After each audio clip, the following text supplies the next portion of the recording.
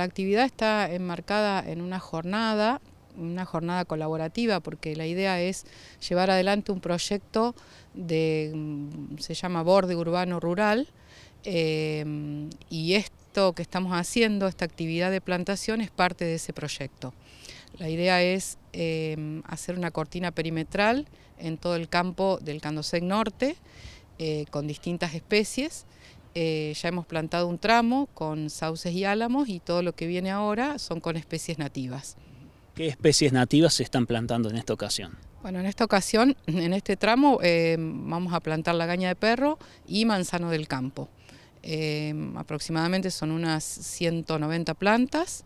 Eh, y bueno, estamos, digamos, con, estudiantes de agronomía y veterinaria, con estudiantes de la tecnicatura también en, ciencias agropecuarias eh, y otros docentes de la facultad que se han sumado a colaborar.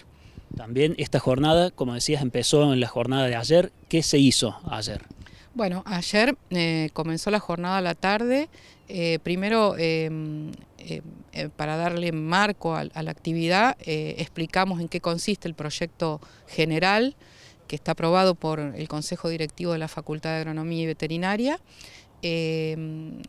Después de, explicar el proyecto, también se dio una capacitación respecto a lo que es la plantación, lo que es la marcación, el ahollado, cómo, cómo llevar adelante la plantación, qué tipo de plantines se usan para una plantación de este tipo en cuanto a calidad de plantín eh, y todos los trabajos culturales, es decir, cómo eh, proteger a las plantas una vez que se realiza la plantación.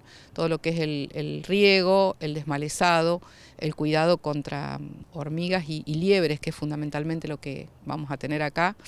Eh, y después también una exposición eh, sobre eh, lo que es la aplicación de biopreparados eh, para lograr, digamos, que los plantines tengan una rápida, un rápido establecimiento en el campo.